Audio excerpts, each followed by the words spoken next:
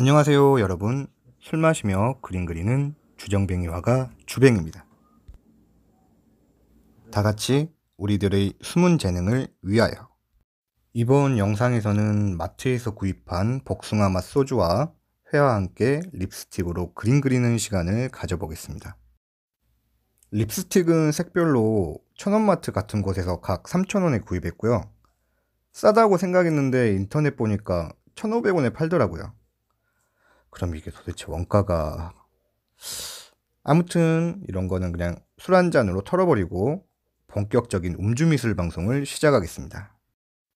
먼저 연필로 연한 선으로 대략적인 형태를 잡아두었고요.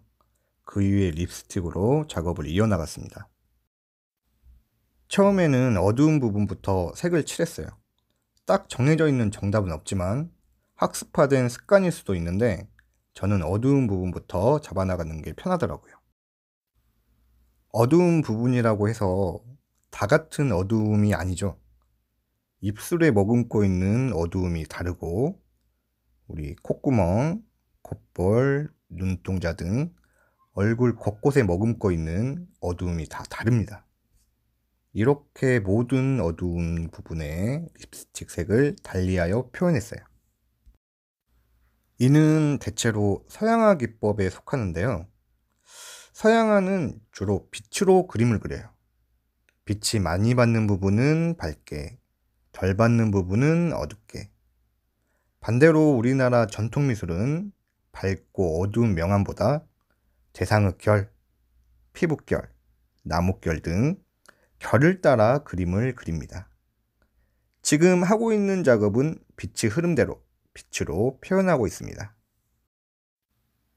부드러운 얼굴 표면을 표현하기 위해서 손으로도 이렇게 한번 문질러 보고요. 머리카락 같은 경우도 처음에 그 제가 했던 것처럼 마찬가지로 어두운 부분부터 덩어리를 잡아줍니다. 모델의 머리카락 라인을 따라 덩어리를 잡아주고 있습니다. 어두운 부분과 밝은 부분 사이에는 그 중간 톤이라는 게 존재하는데요. 머리카락 사이사이에 너무 어둡지 않고 밝지도 않은 립스틱을 사용합니다. 립스틱을 종이에 더 밀착시키기 위해서 손으로도 문질러 보고요. 뒷머리카락도 제가 앞서 했던 것처럼 어두운 부분 잡아주고요. 머릿결을 따라 어두움은 움직입니다. 그 다음은 뭘까요? 뭘까요? 뭐지? 네. 중간 톤이 올라가야겠죠? 중간 톤도 군데군데 이렇게 표현해 줍니다.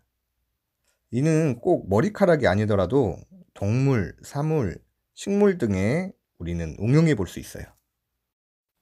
어떻습니까? 재밌어 보이지 않나요?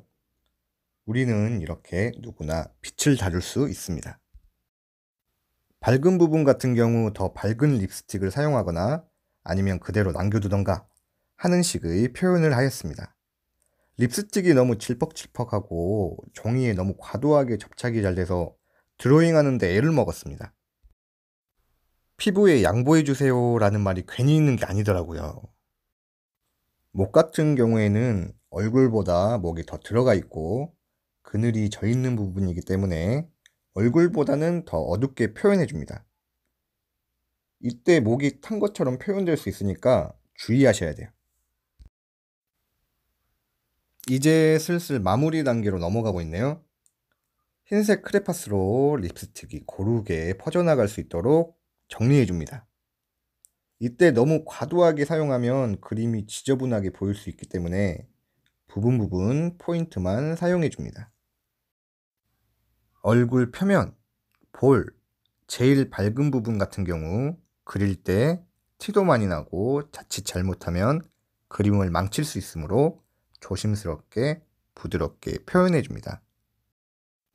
지금 제가 쓰는 표현 기법이 정답은 아니라고 생각하거든요. 우리는 저마다 다양한 취향과 대상을 바라보는 눈이 서로 다르기 때문에 아, 주뱅이는 이렇게 저렇게 표현하는구나 라고만 생각하시고 여러분의 색깔에 맞는 그림을 그리셨으면 좋겠습니다. 이제 그림이 점점 마무리돼 가고 있네요. 너무 붉은 계열만 쓰다 보니까 그림이 호로가 되는 것 같더라고요. 저는 산뜻하게 그리고 싶었거든요. 그림의 밸런스를 맞추기 위해서 노란색 크레파스로 군데군데 정리해 보았습니다. 이제 그림이 완성되었고요. 마지막 사인도 기분 좋게 마무리하였습니다. 이제 곧 구독자 500고지가 눈앞이에요. 하늘 같은 구독자님들 많은 홍보 부탁 바랍니다. 키워주십시오. 처음 들어오셨다면 구독, 좋아요, 알람 설정까지 무릎 꿇고 부탁드리겠습니다. 저 지금 무릎 꿇었어요, 진짜. 그럼 일주일 후에 다시 와요. 행복한 하루 보내세요.